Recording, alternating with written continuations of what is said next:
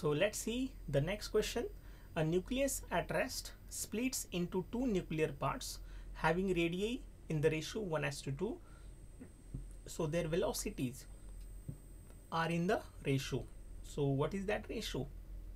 So I know that rho is equals to mass upon volume.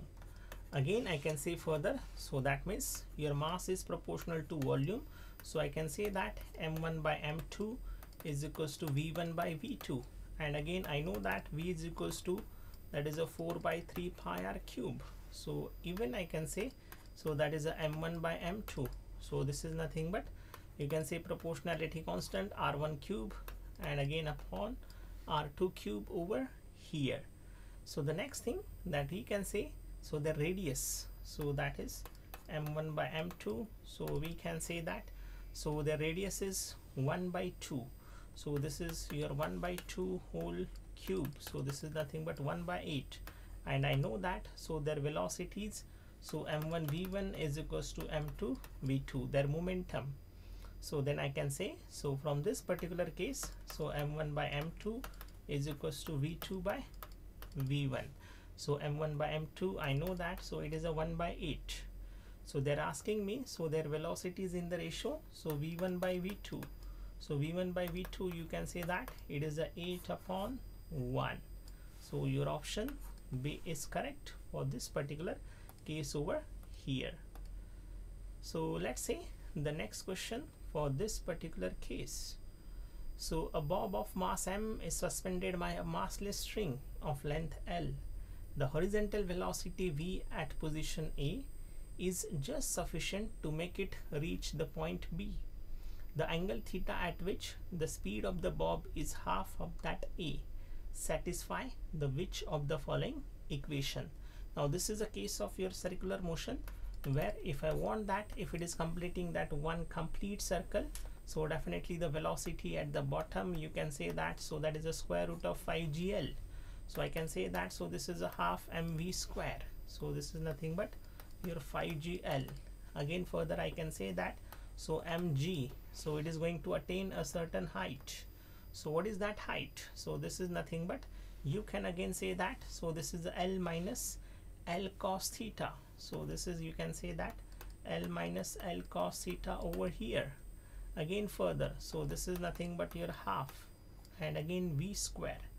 Again v is nothing but what? So that is nothing but v by 2 so the v is nothing but you can say that so this is your square root of 5gl divided by 2 whole square. So this is a this one. So you can see further. So this is your half m 5gl again you can say mgl you can take common. So this is a 1 minus cos theta. Again further you can say so for this particular case over here so we have to just simplify the things for this particular case. So even so let's say I will just take it over here. So that is a 5gl divided by 2 whole square. So if I just do it on this side so let's say so that is your half m5gl so this is a half m5gl then we have written MGL common 1 minus cos theta and again plus half m v square. So I know that. So obviously that is your v square. So this is your 5gl so square root of 5gl so that will become your 5gl and again so that is your divided by 4 so divided by 4 over here. So that is how I can just write it down the things over here. So 5g ml divided by 2 again I can say that. So this is your mgl 1 minus cos theta. Again this is you can say that half. Yeah so 5 mgl divided by 4 so you can say that what are the different things which are getting cancelled over here? So even I can write it down. So instead of this small l you can take it as a capital L or vice versa also so you can say that even for this particular case over here so your mgl is getting cancelled throughout. So this is nothing but your 5 by 2 so 1 minus cos theta.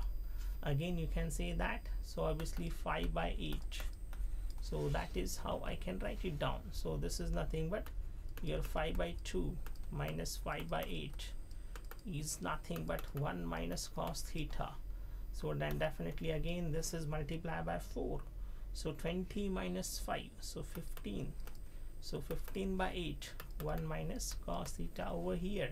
So 1 minus 15 by 8 is equals to cos theta. So cos theta is equals to you can say that 8 minus 15 yeah? So that is a minus 7 so theta you will get around 152 yeah? So you can say that so that 152 lies between your 135 to 180 so you can say your option D is correct for this particular case